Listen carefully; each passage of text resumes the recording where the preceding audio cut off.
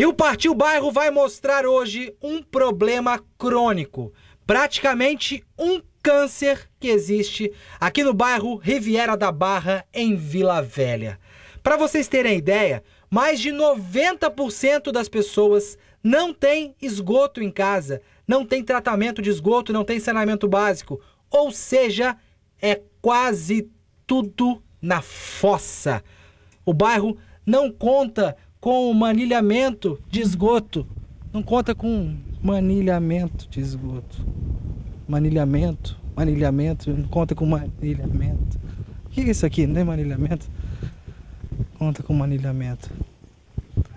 É, tem manilhamento. Inclusive, esse depósito de manilhas aqui presta serviço para a prefeitura e fica em Riviera da Barra. Seria triste se não fosse cômico. Vem comigo, partiu o bairro.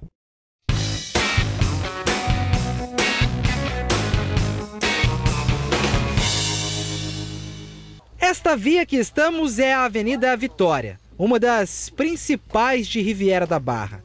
É aqui que fica o depósito de manilhas e também a insatisfação coletiva. Todo bairro que é necessário rede de esgoto, rede fluvial, que nós passamos por um caso muito sério aqui, questão de fossas que chega a esgotar aqui, a gente não vê, não vê aqui é, é, é sugador. A Avenida Vitória é a referência negativa. Buraco, trechos desnivelados, mato alto. Igual a ela, tem várias, viu? Você tá vendo essa rua aqui, é a mesma que tem em todas as outras ruas. Só que essa rua minha aqui também tem 20, mais de 20 anos que tá com esse negócio de asfalto aqui não sai. A lista de BOs aqui continua. O próximo problema é questão de ordem, senhor presidente. Esta aqui é a avenida principal do bairro.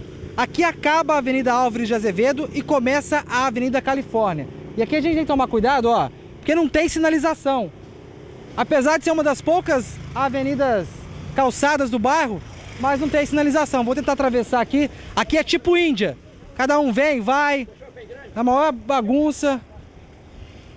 O que acontece aqui? Não tem um semáforo, não tem um sinal. Não, aqui não tem sinal, não tem respeito, não tem nada. Olha só, observa bem, aqui tem uma placa de pare e quem vem de lá também na Caçoava tem outra placa de pare. Isso aqui é uma doideira só, é o dia inteiro. E aí a gente às vezes tem que disponibilizar para poder ficar atravessando as pessoas aqui porque eles não respeitam. Em Riviera, o progresso tem entrado em conflito com o respeito. E aqui está rolando a obra de duplicação da S388 que liga a Rodovia do Sol à BR-101. Só que a obra que está lá mais para lá do que para cá está trazendo um porção de problemas para quem mora aqui. Quais são esses problemas?